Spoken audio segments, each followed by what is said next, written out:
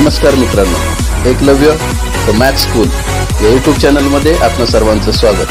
या चॅनलला like share आणि सबस्क्राईब करायला विसरू नका. नमस्कार विद्यार्थी मित्रांनो एकलव्य द मॅथ स्कूल या यूट्यूब चॅनलमध्ये मी सचिन धनवट आपणा सर्वांचं मनपूर्वक स्वागत करतो. विद्यार्थी मित्रांनो आज या व्हिडिओच्या माध्यमातून आपण इयत्ता सहावी प्रकरण चौथे अपूर्णांकांवरील क्रिया ऑपरेशन्स ऑन फ्रॅक्शन्स या प्रकरणातील एक नवीन संकल्पना अभ्यासणार आहोत. ती म्हणजे अपूर्णांक संख्या संख्या रेषेवर दाखवणे. विद्यार्थी मित्रांनो या मागील व्हिडिओमध्ये आपण अपूर्णांकांवरील क्रिया शिकलेलो आहोत ज्यामध्ये बेरीज वजाबाकी या क्रिया आपण समजून घेतलेल्या आहेत. अर्थातच आपण जो व्हिडिओ पाहिला नसेल तर नक्की एकदा पहा. या व्हिडिओच्या शेवटी आपल्याला तो व्हिडिओ स्क्रीनवरती पाहायला मिळेल. तर आजच्या व्हिडिओमध्ये आपण अभ्यासणार आहोत अपूर्णांक संख्या संख्या रेषेवर दाखवणे. How to show the fractions on the number line चला तर मग समजून घेऊयात अपूर्णांक संख्या संख्या रेषेवर दाखवली. विद्यार्थी मित्रांनो संख्या रेषा म्हणजे काय हे आपण यापूर्वी अभ्यासलेलं आहे आणि संख्या रेषेवर पूर्णांक संख्या कशा दाखवायच्या हे देखील आपण समजून घेतलेलं आहे. नैसर्गिक संख्या पूर्ण संख्या पूर्णांक संख्या या तीनही प्रकारच्या संख्या संख्या रेषेवर आपल्याला दाखवता येतात. संख्या रेषेची सर्वसाधारण रचना आपल्यासमोर बोर्डवर मी दाखवलेली आहे जी आपण यापूर्वी अभ्यासलेली आहे. संख्या रेषेवर शून्य हा आरंभबिंदू असतो त्या संख्या रेषेचा आणि शून्याच्या अर्थातच उजवीकडे सर्व धनसंख्या असतात. Positive numbers to the right hand side of the number zero and the negative numbers to the left hand side of the zero ऋण संख्या या शून्याच्या डावीकडे असतात. तर या पूर्णांक संख्या झाल्या. म्हणजेच एक दोन तीन पासून अधिक अनंतापर्यंत या नैसर्गिक संख्या वजा एक वजा दोन वजा तीन पासून अनंतापर्यंत या नैसर्गिक संख्यांच्या विरुद्ध संख्या आणि शून्य यांना एकत्रित मिळून आपण पूर्णांक संख्या असे म्हणतो. म्हणजेच integers so these are the integers आज आपल्याला विद्यार्थी मित्रांनो अपूर्णांक संख्या संख्या रेषेवर कशा दाखवायच्या हे अभ्यासायचं आहे. अर्थातच आपण यापूर्वी अभ्यासलेला आहे या प्रकरणामध्ये. अपूर्णांक आपण दोन प्रकारचे पाहिले. छेदाधिक अपूर्णांक आणि पूर्णांकयुक्त अपूर्णांक म्हणजेच मिक्स फ्रॅक्शन्स आणि इम्प्रॉपर फ्रॅक्शन्स तर सर्वप्रथम आपण छेदाधिक अपूर्णांक म्हणजेच इम्प्रॉपर फ्रॅक्शन्स हे संख्या रेषेवर कसे दाखवायचे? हे काही उदाहरणांच्या सहाय्याने इथे समजून घेणार आहेत. तर पहिल्या प्रश्नामध्ये आपल्यासमोर चार अपूर्णांक लिहिलेले आहेत. अर्थातच तीनशे चार एक छेद चार वजा दोनशे तीन वजा एक छेद तीन.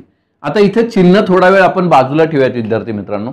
संख्यांचं निरीक्षण केलं तर आपल्या लक्षात येईल की या प्रत्येक संख्येमध्ये छेद हा अंशापेक्षा मोठा आहे. लक्षात घ्या. इथे चार आहेत इथे तीन आहे. म्हणजे छेद मोठा आहे. इथे देखील छेद मोठा आहे. इथे देखील छेद मोठा आहे आणि इथे देखील छेद मोठा आहे. म्हणजेच विद्यार्थी मित्रांनो या प्रत्येक अपूर्णांकांमध्ये छेद हा अंशापेक्षा मोठा आहे.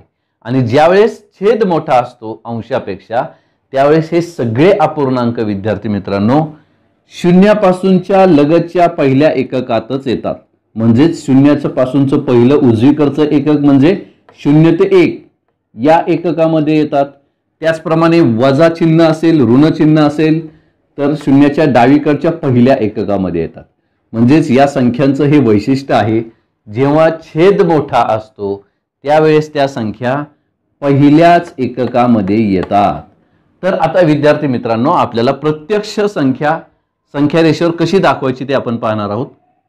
तर तीन छेद चार या संख्येचा विचार करूयात. अर्थातच मी तुम्हाला आत्ताच सांगितलं की ज्याचा छेद मोठा आहे ती पहिल्याच एककात येणार आहे. फक्त अधिक असेल तर उजवीकडचं पहिलं एकक आणि वजा असेल तर डावीकडचं पहिलं एकक. हे अधिक तीन छेद चार आहेत म्हणजे ते या एककामध्ये येणार आहेत. शून्य ते एक. In this unit the number three by four will be there तर आपण आता छेदस्थानी जी संख्या आहे ती संख्या विचारात घ्यायची आहे. छेदस्थानी इथे चार आहे. जो अंक छेदस्थानी असेल तेवढे त्या एककाचे समान भाग करायचे आहेत. आपण अपूर्णांक शिकलेला आहोत पा तीनशे चार याचा अर्थ काय मित्रांनो? तर अर्थातच चार समान भागांपैकी तीन भाग. याचा अर्थ काय होतो?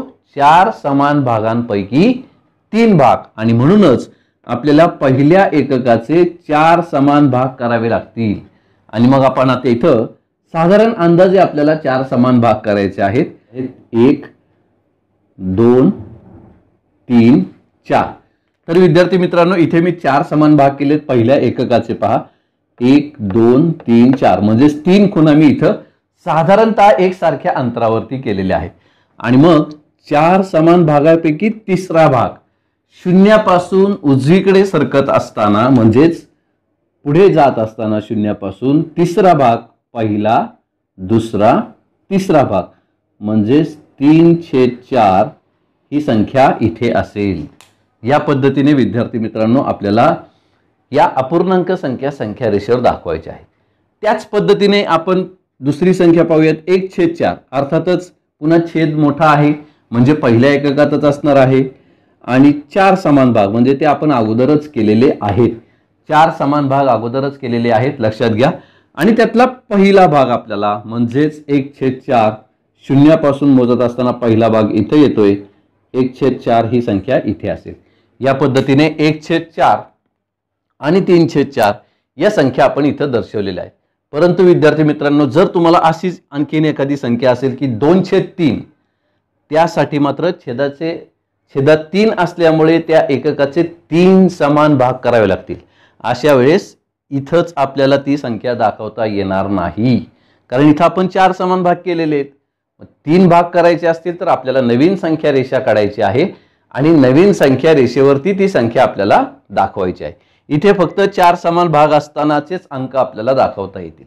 आता आपण पुढच्या अंकाकडे वळूयात. वजा दोनशे तीन. वजा आहे it is a minus so it will be lies to the left hand side of the first unit of the left hand side from the zero शून्यापासूनचं पहिलं डावीकडचं एकक इथे असणार आहे.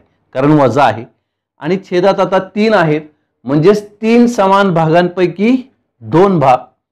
म्हणजे आता आपल्याला विद्यार्थी मित्रांनो या एककाचे तीन समान भाग करायचे पहा. हा पहिला भाग हा दुसरा भाग आणि हा तिसरा भाग. साधारण अंदाजे मी खुना केलेले आहेत. एक दोन तीन भाग झालेले आहेत. शून्यापासून आता पुन्हा डावीकडे जात असताना तीन भागांपैकी दुसरा भाग. तीन भागांपैकी दुसरा भाग.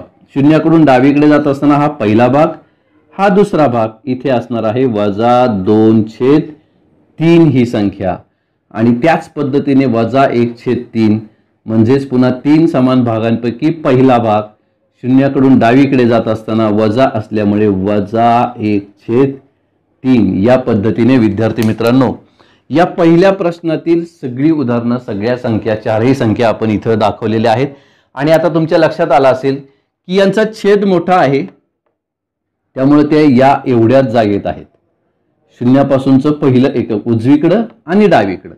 याच्यापेक्षा पुढं त्या संख्या जाऊ शकत नाहीत कारण त्यांचा छेद मोठा आहे आणि छेद मोठा आहे म्हणजेच त्यांच्यात एकही पूर्णांक संख्या नाही.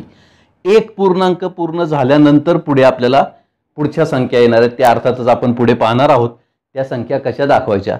परंतु हे अपूर्णांक असे आहेत की ते फक्त अपूर्णांक आहेत त्यांच्यात एकही पूर्णांक नाही. त्यामुळे हे पहिल्याच पूर्णांकामध्ये पहिल्याच एककामध्ये या चारही संख्या इथं आलेल्या आहेत. अशाच पद्धतीची आपण आणखीन काही उदाहरणं पाहूयात. आता पाच समान भाग असलेले आणि सात समान भाग असलेली उदाहरणं आपण पाहतोय.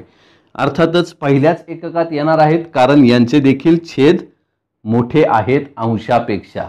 म्हणजेच हे देखील अपूर्णांकच आहेत. मग पुन्हा पहिली संख्या आहे तीन छेद पाच. अधिक आहे म्हणजे शून्याच्या उजवीकडचं पहिलं एकक. त्याचे पाच समान भाग करायचे आहेत आता आपल्याला. हा पहिला हा दुसरा हा तिसरा हा चौथा आणि हा पाचवा. आपण पाच समान भाग केलेले आहेत पहा. एक दोन तीन चार पाच. या पाच समान भागांपैकी तिसरा भाग म्हणजेच पुन्हा शून्याकडून उजवीकडे जात असताना पहिला भाग दुसरा भाग तिसरा भाग. ही संख्या इथे असेल तीन छेद पाच. या पद्धतीने ही संख्या आपण इथं दर्शवलेली आहे. आणि त्याच एककात दुसरी संख्या आहे दोन छेद पाच. म्हणजेच दुसरा भाग पहिला दुसरा इथं असणार आहे दोन छेद पाच ही संख्या. या पद्धतीने विद्यार्थी मित्रांनो उजवीकडच्या म्हणजेच धनसंख्या आपण इथं दाखवलेल्या आहेत ज्या पहिल्या एककात आलेल्या आहेत. त्याच पद्धतीने आता डावीकडच्या पहिल्या एककामध्ये ऋणसंख्या येतील. ज्याचे सात समान भाग आता आपल्याला करायचे पहा. पहिल्या एककाचे सात समान भाग आपण आता करणार आहोत. एक दोन तीन चार पाच सहा.